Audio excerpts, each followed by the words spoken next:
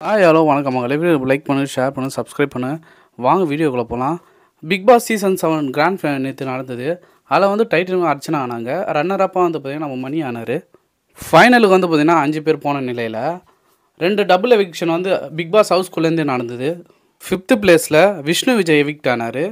Fourth பிளேஸில் வந்து பார்த்திங்கன்னா நம்ம தினேஷ் எவிக் ஃபோர்த்து பிளேஸில் தினேஷ் எவிக்ட் ஆனார். ஆனால் ஆக்சுவலாக வந்து பார்த்தீங்கன்னா ஃபோர்த்து பிளேஸில் மாயா தான் இருந்திருக்கணும். இந்த பிக் பாஸ் டீம் வந்து பார்த்தீங்கன்னா தினேஷ் வந்து ஃபோர்த்து பிளேஸில் இறக்கிட்டாங்க. மாயா வந்து பார்த்திங்கன்னா தேர்ட் ப்ளேஸில் ஏற்றிட்டாங்க ஃபைனலாக மாயா மணி மற்றும் அர்ச்சனா மூணு பேரும் வந்து ஸ்டேஜில் நின்று ஒருத்தர் எவிக்ட் தேர்ட் ப்ளேஸ்லேருந்து மாயா எவிக்ட் ஆனாங்க. கடைசியில் வந்து பார்த்திங்கன்னா ரெண்டு பேர் வந்து ஃபைனலுக்கு போனாங்க. ரெண்டு பேரில் வந்து பார்த்திங்கன்னா அர்ச்சனா டைட்டில் வின்னர் ஆனாங்க. நம்ம மணி வந்து ரன்னர் அப் ஆனாங்க.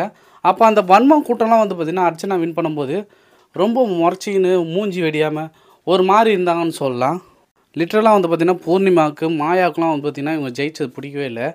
பத்தொம்பது லட்சம் வாக்குகளை பெற்று அர்ச்சனா வந்து டைட்டில் வின்னர் ஆகிட்டாங்க இதுக்கு வந்து பார்த்திங்கன்னா பிரதீப் ப்ரோவும் வந்து பார்த்திங்கன்னா ஒரு காரணமாக இருக்குது. கேம் எப்படி போயிருந்ததுன்னா ரெட் கார்டு கொடுத்தவங்க யாரும் ஜெயிக்கக்கூடாது தான் மக்கள் வந்து முடிவு பண்ணியிருந்தாங்க. அதன்படி அந்த மாயாவுக்கும் நம்ம பூர்ணிமாவுக்கும் எப்போவுமே ஓட்டு கம்மியாக இருக்கும். ஆனால் வந்து பிக் பாஸ் டீம் வந்து பார்த்திங்கன்னா அவங்கள சேவ் பண்ணுறாங்க ஃபைனலாக வந்து பார்த்திங்கன்னா மக்கள் யார் யாருக்கு ரெட் கார்டு கொடுத்தாங்களோ அவங்கள ஜெயிக்க வைக்கல. இதே பெரிய விஷயமா இருக்குது அர்ச்சனா வெற்றியின் மூலம் பிரதீப்போட கலங்கத்தை தொடச்சிருப்பாங்க மக்கள்.